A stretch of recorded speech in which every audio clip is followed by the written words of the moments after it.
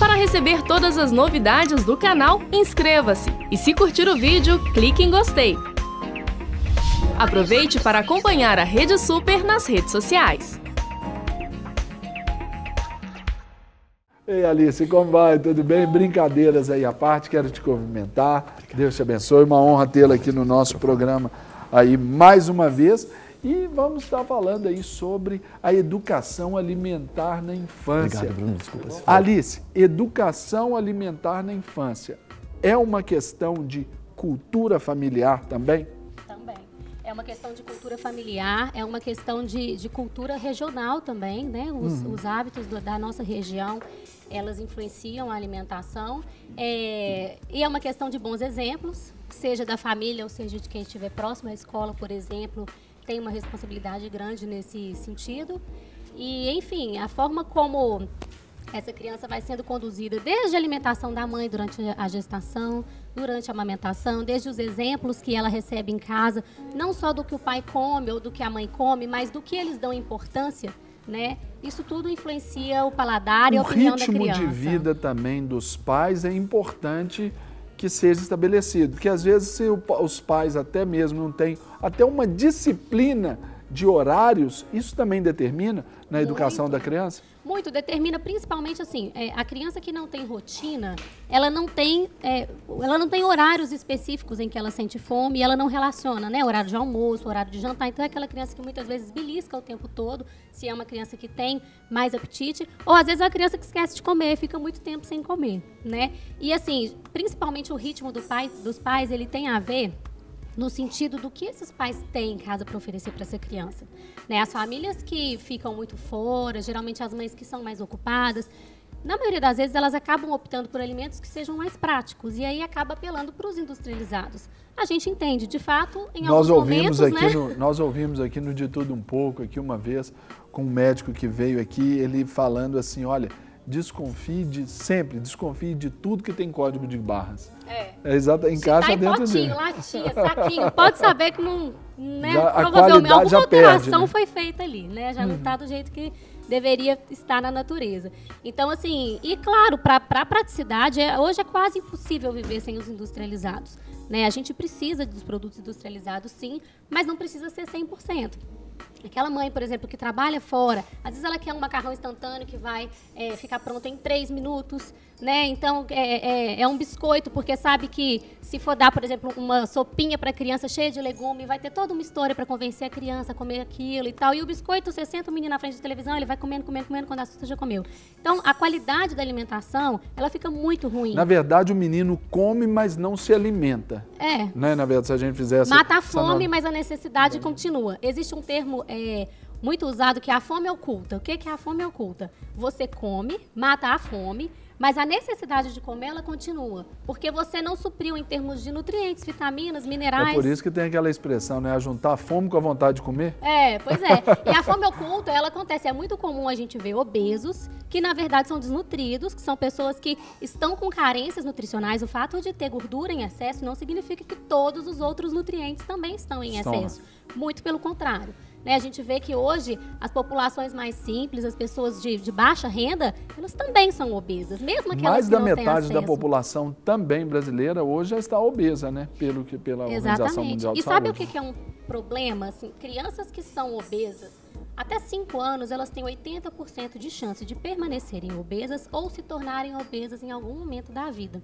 Então, é uma, uma. Você aumenta muito a chance de ter uma criança obesa quando ela se alimenta mal na infância. É um período muito fértil para você construir uma base forte para crescer um ser humano saudável. Você diz aí sobre um período muito propício. A alimentação, ela também tem a ver com a emoção do momento, a emoção ali com o alimento. Dá para ligar uma coisa com a outra no sentido até de gerar aquela expectativa na criança um determinado alimento, não dá, Sim, Alice? e pelo contrário também. Se você um dia comer um alimento e passar mal logo em seguida, ainda que a culpa não Aconte- seja daquele já, alimento. Já aconteceu, comigo. comigo. Muito. Por exemplo, eu como todos os tipos de peixe, só não gosto de bacalhau. E, por exemplo, eu posso comer qualquer um como normal. Não que é bacalhau, que eu coloco na boca, eu já não quero. Por quê? Quando eu era pequeno, ali aquelas tra, traquinagens de menino, eu ia lá, pegava lá no bacalhau, pegava aquelas lasquinhas, salgadinha, salgadinho, comecei a comer. Comer, ia lá, todo um pedacinho. Passei um mal terrível, tive uma intoxicação, nunca mais. Então você criou uma memória em relação a esse alimento. E a gente cria memórias o tempo todo em relação a todos os alimentos. Então, por exemplo, aquela criança que quando era pequenininha, ele estava começando a se alimentar, na cabeça da mãe ela tinha que comer a fruta inteira e às vezes ela só queria metade. A mãe força a outra metade da fruta. Quando ela vai comer aquela fruta, de uma forma inconsciente, ela traz aquela memória para ela. Então isso, isso pode vale atrapalhar. Também, isso vale também para o castigo também, né, Alice? Isso. Ah, agora você vai comer, agora você vai ter que comer tudo para você aprender. Exa e para premiação também. Ó, se você comer isso aqui, mamãe vai te dar um chocolate. Aí, ó, chocolate. Então quer dizer que o chocolate é bom. Então tem um reforço positivo. É melhor do que aquilo. Então o menino começa, ó, legal, isso aqui é um bom prêmio. Então no dia que ele conseguir uma coisa legal, e ele no dia que não tiver chocolate? E no dia que não tiver o chocolate, como é que faz? O menino então não come? É. É, não, é o assim, risco, é né? Porque isso se torna tipo uma corrupção, de... né? Pois é. E é complicado esse tipo de associação. E da mesma forma que existe associação ruim, a gente pode fazer associações boas. Então, por exemplo, é, o, o, o seu filho vai receber os coleguinhas da escola para fazer um trabalhinho em casa. Ao invés de você servir sorvete, você pode servir uma salada de frutas. Né? É, eu lembro, por exemplo, da minha mãe, uma vez ela fez um hambúrguer que era um hambúrguer natural, feito em casa. Todas as vezes que eu como hambúrguer, eu lembro desse dia que meus amigos foram lá em casa e comeram esse hambúrguer. Então, isso eu tenho essa memória afetiva em relação a isso. Enfim, a gente vai é, é, criando memórias em todos os sentidos. Por exemplo, um chocolate, um doce. A gente, quando vai em festa infantil, o brigadeiro. O brigadeiro ele não é bom simplesmente pelo sabor do brigadeiro, uhum. né? Ele é bom por quê? Porque é, Brigadeiro lembra festa, lembra o dia que todo mundo canta parabéns para você, lembra o dia que você é o centro das atenções, lembra o dia que a família reúne. Então tem toda uma história por trás de um bolo de aniversário, de um brigadeiro, assim como tem toda uma história por trás do feijão, da carne. Então construir essa história de uma forma positiva pode influenciar o apetite Isso também diz respeito à afetividade, especialmente aí da mamãe no preparo ali daquele alimento. Por exemplo, você disse, daquele macarrão instantâneo de três minutos, Vai lá, colocou, acabou, deu, o menino tá lá, deu biscoito. Agora, aquele momento que a mãe está preparando, aquilo ali também diz respeito a essa afinidade que a mãe já busca com a criança, até de satisfazer. Olha, mamãe fez isso aqui com todo carinho. Aí vale também incrementar nisso aí os pratos criativos, Alice. Aqui, ali vale mesmo ou também incorre naquele erro de e quando não tiver o prato criativo? É. Ou é só por fases? Quem é mãe sabe que não dá para ficar fazendo prato criativo o tempo todo, né? Não dá para fazer almoço, jantar, lanche da escola, o tempo todo criativo com bichinho. Na rotina isso nem sempre encaixa, mas é uma estratégia para um dia ou outro. Por exemplo, uma época que a criança está doentinha, não está comendo bem, está sem apetite, você fazer aquilo para estimular é uma boa Legal. opção. Tudo que é feito com muita frequência perde a graça. Então não adianta também, se você faz todos os dias o prato criativo, o menino não vai achar aquilo ali tão interessante. Uma mãe é criativa sempre. Então, né, é, a questão do prato criativo, além da questão lúdica, tá ligada também ao carinho especial que a mãe colocou naquilo para fazer. Né? Então, assim, esporadicamente, fazer isso para criança é muito legal, muito legal. Se encaixar na rotina, ótimo. Agora, ali, se a gente pensar assim, na introdução dos alimentos, porque nós falamos ontem aí sobre a questão da campanha do aleitamento materno, que pelo menos até os seis meses, exclusivamente o peito já é o suficiente para a criança. Aí depois vem ali gradativamente aquela introdução dos alimentos. Só que muitos pais, muitas mães, eles vão postergando ali o, a introdução de alimentos mais azedos, mais amargos. Isso é bom ou ruim? Na verdade, a gente, o, o, sabor doce, ele é inato ao ser humano. A gente já nasce gostando do que é doce. Agora, o azedo e o amargo, eles precisam ser ensinados. Então, não existe nenhuma contraindicação de dar esses alimentos para criança. Um bebezinho, ele pode comer rúcula, ele pode consumir canela, ele pode comer consumir giló. abacaxi, giló, não tem problema.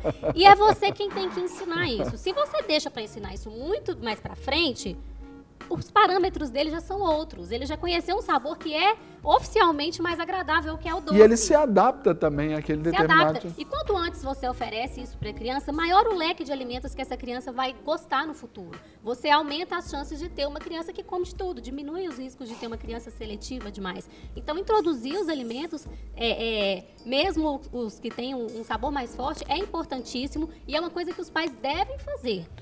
Alice, deixa eu piorar aqui as coisas para você aqui um pouquinho. Né? Vamos fazer aqui. E para as crianças maiores, aquelas que chegam naquele estágio já assim, absoluto, eu só como batata, arroz, feijão e bife. E não como mais nada. Como oh, fazer para isso começa melhorar. cedo. Sim. Geralmente, assim, existe uma, uma época A responsabilidade é dos pais ou dos cuidadores quando a gente verifica uma situação assim. É, a gente pode dizer que a forma como eles lidam com isso vai determinar quanto tempo isso vai durar.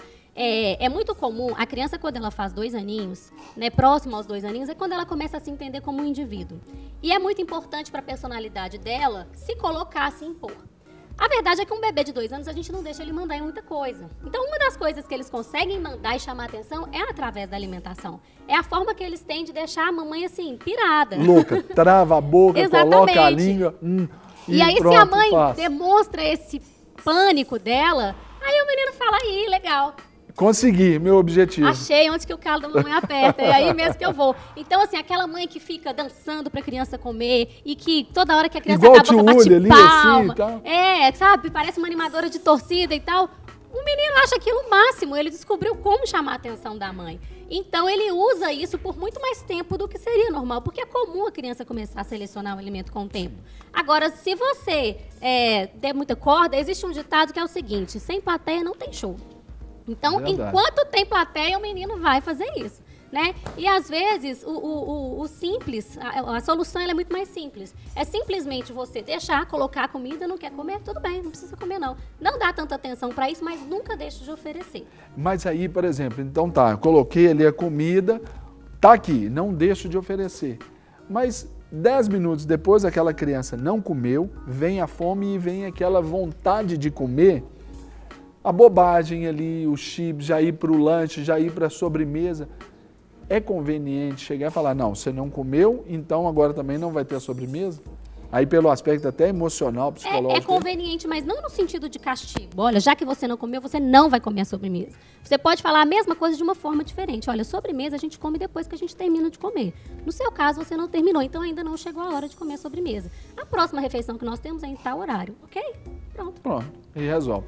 Agora, oh, Alice, sobre essa questão também aí da, das necessidades nutricionais de uma criança. Como conciliar padrão casa com padrão escola?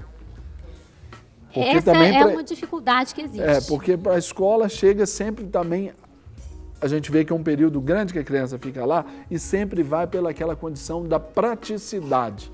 Por exemplo, vou lá e coloco uma caixinha de suquinho, Aí uma coisa que nós descobrimos aqui no nosso De Tudo Um Pouco foi que no suquinho tem muito sódio, tem muito açúcar, e aí vai, coloca ali a mãe achando que é saudável, coloca, coloca um outro. Como conciliar isso? Oh, Qual eu, é a sua dica para dona de casa? Eu sempre penso assim, é, eu gosto muito de trabalhar com bebê. E é muito engraçado que a mãe, quando vai no consultório, ela fala assim, ai que vergonha, eu trouxe meu neném de seis meses, o que, que eu vou fazer com ele aqui? É a hora de levar a criança, é a hora de você construir as coisas certas para Melhor não do que levar um de 12 anos. Né? Consertar é muito mais difícil. Então, assim, pensando nessa dica de escola, o que, que eu oriento para as mães? Que o filho vai entrar na escola. Você não precisa acostumar o seu filho com suco. Essa ideia de suco é uma coisa nossa. Ele não, ninguém falou com ele que tem que comer e beber ao mesmo tempo. Você pode mandar água. Quando você manda água no lugar do suco, você resolve um monte de problema. Primeiro, é, você pode mandar uma fruta e a água. Então você vai dar um alimento que vai estar fresco, porque você pode mandar um alimento com a casca. Ele vai ter muito mais fibra, o índice glicêmico vai ser menor. Não tem necessidade de adicionar açúcar, o que é um problema, porque as pessoas falam muito do suco de caixinha, mas faz suco natural em casa e manda açúcar também. Então tem essa questão. Tem também. Né? Então se você não acostuma Saiu do espeto, caiu na brasa. Pois é. Então se você não acostuma a criança de, de, de levar o, o, o suco, Pronto, você resolveu esse problema. Não tem essa questão de, ah, vai azedar, vai ficar com cheiro ruim, não vai ficar desagradável. Por Você exemplo, mandando uma fruta, por exemplo, até pela correria, porque o menino, na hora ali do intervalo escolar, do recreio, ah! então na hora do recreio, precisa ali daquele tempo. O menino não quer gastar tempo para comer, para pensar. Vale, por exemplo, a mamãe preparar ali uma vasilhinha ou um determinado tipo de. Como que eu posso dizer? De uma merendeira ali e tudo, mas assim, para condicionar aquele alimento, uma fruta já descascada, picada, para o menino já comer e jogar, embolar e jogar na lixeira, vale? Vale. É, é, o fato dela estar picada não necessariamente vai fazer ela ser consumida mais rápido. Por exemplo, uma banana. Não, não dá trabalho a criança descascar e comer uma goiaba, uma maçã. Isso é a, a- É o a mínimo. velocidade que a criança vai comer é mais ou menos a mesma. A gente sempre tem que separar as crianças em grupos, né? Porque o que vale para uma criança de dois anos e para um de 11 é totalmente diferente. Sim. Você mandar uma maçã inteira para uma criança de dois anos, muito provavelmente essa maçã vai voltar. Vai voltar. Né? Então, no caso das crianças menores, aí já tem que ser mais picadinho, tem que ser mais cuidadoso com isso. Agora, sabe uma coisa que é legal para mandar para as crianças maiores, que é rápido de comer? Porque você tem que pensar o que que dá energia. Olha aí, dona de casa, ó, a mamãe que está nos assistindo aí. Aline, presta atenção. O que que dá energia em pouco volume? Que a criança come rapidinho. Castanha é uma ótima dica. Castanha do Pará. Criança come ali duas castanhas do Pará e uma fruta, ela já está alimentada. Existe uma preocupação enorme de ter um lanche mega equilibrado na hora do recreio. Só que o- o- o horário do recreio, se a criança tomou café da manhã direito e vai almoçar direito, é um lanche intermediário. Né? A gente, quando monta um plano alimentar, seja para criança ou adulto, os lanches entre as refeições principais, eles não são enormes. É o almoço, é o café da manhã, o almoço e o jantar. Entre eles é uma fruta, um iogurte, uma castanha. Não precisa mandar aquela lancheira enorme que o menino tem que sentar, pôr a toalhinha e comer o biscoito, a fruta, sabe? Não precisa ser aquele lanche. Aquilo ali é até um atraso, né, para o Não, e menino. né? atrapalha o almoço, dependendo. Atrapalha o almoço e no caso das crianças menores, existe uma questão assim, principalmente a criança ali até os 4, 5 anos, é, ela gosta muito, ela fica feliz quando ela consegue comer tudo. Se a mãe toda vez manda um mega lanche, todos os amiguinhos conseguem comer a lancheira toda, né? Tudo que tem lá dentro. Só ele que não, porque a mãe é exagerada e manda um monte de coisa. Então isso gera uma frustração na Então criança tem que ter essa também. percepção da mamãe ali É, também. e isso assim é uma coisa muito muito pessoal. Eu falo que nós como profissionais, a gente sempre tenta orientar as mães, mas as verdades absolutas elas não existem. Cada mãe sabe do seu filho. E cada família tem o seu Cada contexto. uma sabe o que, que se aplica, o que, que não se aplica, qual regra que ela vai precisar quebrar ou não. É por isso que é muito importante a mãe sentir o filho, entender, conversar com o filho, para ela saber o que, O que ela vai colocar naquela lancheira que também, vai ela ficar feliz. precisa se adequar também. Porque, por exemplo, eu vejo na escola do meu menino, tem meninos lá que não levam e nem levam dinheiro. Ou se levam dinheiro, não gastam dinheiro com a merenda. Aí, por exemplo, meu filho, que a gente sempre coloca ali as coisas para ele, eles vão lá e dão aquela famosa serrada ali no, com meu filho. Então tem que entender também o ambiente, né? E entender também qual o momento que essa criança está vivendo. Por exemplo, crianças da idade do seu filho, que é 11 anos, né? É. Pois é, eles acham um mico levar algumas coisas pra escola. E às vezes a mãe tá lá toda bonitinha, quer colocar a lancheira do, do palhacinho, aquele, aquele sanduíche que ela fez. O menino não quer aquilo, ele morre de vergonha do lanche Ele dele. quer comprar o pastel que tem lá na É, cantina é da super escola. complicada essa questão. Então, assim, a alimentação a gente tem que levar em consideração todo o contexto. Não vai ser o lanche da escola que vai resolver o problema. Então, sempre que for montar a lancheira da criança, pensa se aquilo ali vai ser viável. Não adianta ser a, a lancheira mais linda, mais maravilhosa do mundo se o seu filho não for comer.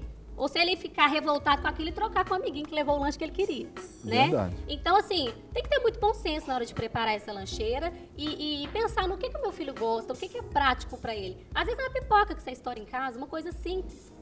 Às vezes é um mix de uva passa com amendoim, por exemplo, não precisa... Sanduíche frio ali. É, um, com uma fruta, não precisa de tanta, tanta coisa assim, sabe? Às vezes existe uma confusão muito Quer grande. saber em que é um da- tempo de um intervalo, Exatamente, né? é um Não é um tempo de uma intervalo, refeição. Só mesmo para a criança não ficar, para fazer uma manutenção da glicose dela, né? Então ela vai comer ali um lanchinho pequenininho para depois ela almoçar.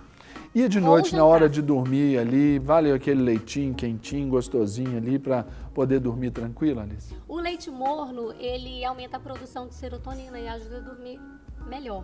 Então é uma opção, sim. Um leitinho antes de dormir é uma boa opção. E como as crianças precisam muito de cálcio, né?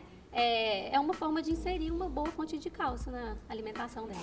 Que maravilha esse bate-papo aqui com a doutora Alice Carvalhais, nutricionista, que veio nos abençoar aí, falando a respeito da educação nutricional aí na infância. Quero te agradecer, Alice. Foi muito bom o bate-papo aqui. Você é show de bola, claro. Obrigada. As portas estão sempre abertas aí. Já, já é parceira nossa aqui no De Tudo Um Pouco. Né? Um abraço lá para sua filhinha, como é que ela chama? Júlia. A Júlia e o maridão? Cristiano. Cristiano, ó, um grande abraço para a Julinha. Beijo para vocês aí. Deus abençoe. Obrigado, Alice, e volte sempre. Para receber todas as novidades do canal, inscreva-se. E se curtir o vídeo, clique em gostei. Aproveite para acompanhar a Rede Super nas redes sociais.